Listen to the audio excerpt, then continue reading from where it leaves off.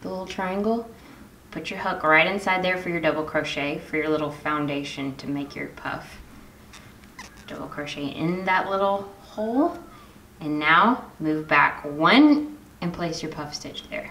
So yarn over, we're going into the one behind it, pull up, in, pull up, in, pull up. Remember to stay loose, right? That third one, really give it a little tug pull through all seven and chain one. And you're gonna start to see this gorgeous little braid with, I love the little holes in between it. Um, you can do this, um, this stitch for other things and not have the holes. There's a way to, to do that, but for the wall hanging, I really liked um, just having the the the the empty spaces there because it kind of gives it even more texture and um, just more appeal hanging on your wall. All right, we're gonna double crochet in our chain one from the row before, yarn over, create that puff stitch. Again, you're only gonna have nine, you're gonna have nine each row. You're never gonna change that. Never gonna change the number of puffs. It's so mindless once you get going. All right, double crochet,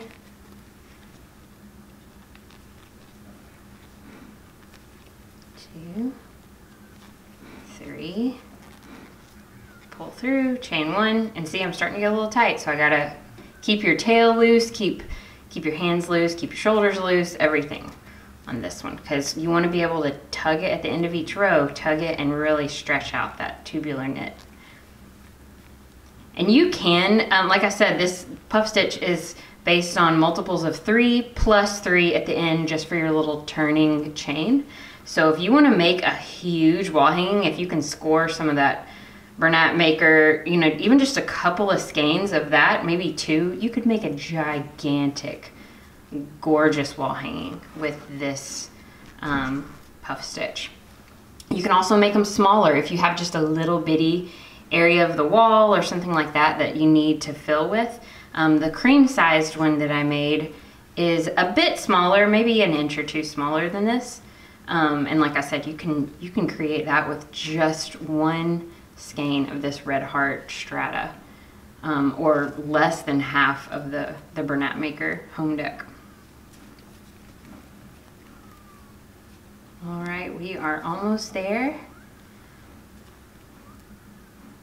What did I do there? There we go. through, pull through.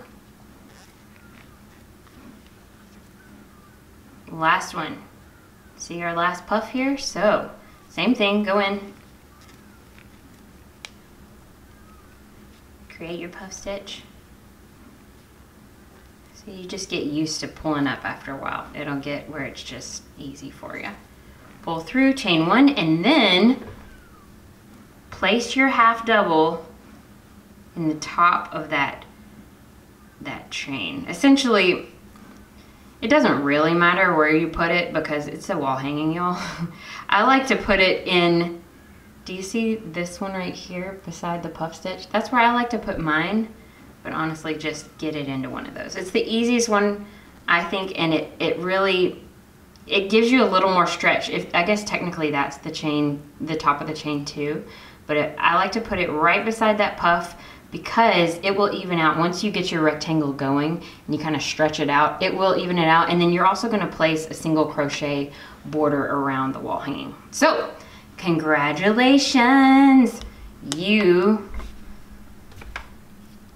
know what your pattern repeat is isn't that so cute see the braid so from here on just keep going chain two and then go back and forth back forth back forth half double at the ends um, I did want to show you when you get to the end of it.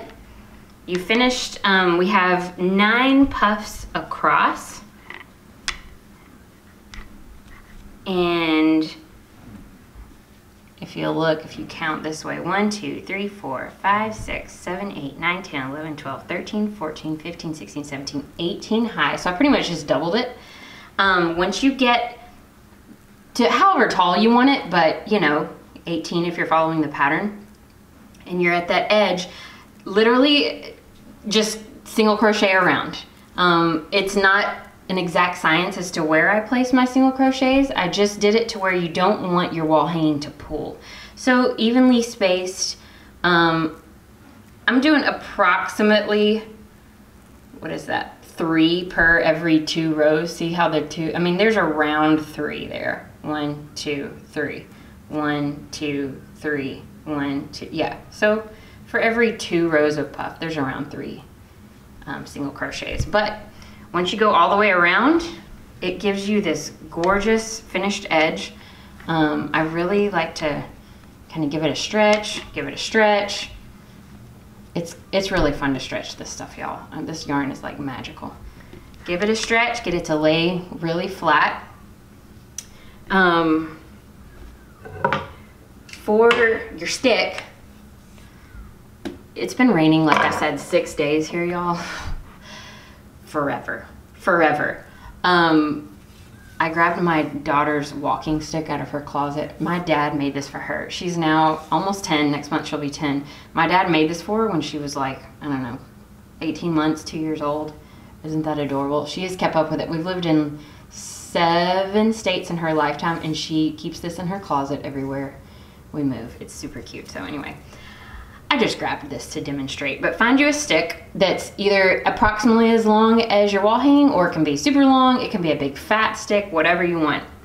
When you get to the end of your single crochet border, I cut a pretty decent amount of yarn. Um, just, there's no science to it, just a lot of yarn essentially, um, or whatever you have left. And I'll take a yarn needle thread it through your hook, and then I literally will just sew around the stick. Like go in to your single crochet with your needle, come around your stick, go in, come around, go in, come around, and I just sew it to the stick. Um, another way you can do it is you can crochet around it. So if you, you know, to me it's a little bit awkward, but also this stick is huge. but you can loop your yarn around and crochet down like that. It's totally up to you. You can also just finish it off here. Just finish off and then you can literally just have it hang by the yarn. Um, the stick just kind of makes it look really cute, really rustic and boho, and then it also gives it some support and keeps it flat there. And then lastly, we just got our fringe going on. So this is where I started the wall hanging, I'm so sorry about bumping the camera, y'all. My dog is right underneath me and he's a gigantic water buffalo. Um, I cut um, several, I didn't, I didn't super fringe this one because I wanted to have like a really kind of minimalist look. Um, you can cut any fringe, any length you want. If you want it really long, if you want it short, this is probably, I don't know, probably I'd say about 14 inches long and all you're gonna do, grab your crochet needle. I like to start at the edge here. And you're gonna go in, and there really is no wrong side of this either. Both sides are exactly the same. So go in to your opposite side. Remember my stick is up at the top, so here's the bottom. Just pull. So I've doubled over my yarn cutting from my fringe pull it through and just make a little slip knot or a little knot. There you go. That's it. And that might be even too long for you for yours. Um, I just cut a bunch of fringe right before this to show you. You can you can make it as sparse or as um, fringy as you want. You can put a ton of fringe in each one. I usually just kind of go down and just do um, one cutting of yarn per each single crochet and just go down just like that and put it all the way across and voila you are ready to go on your cute Elysian wall hanging.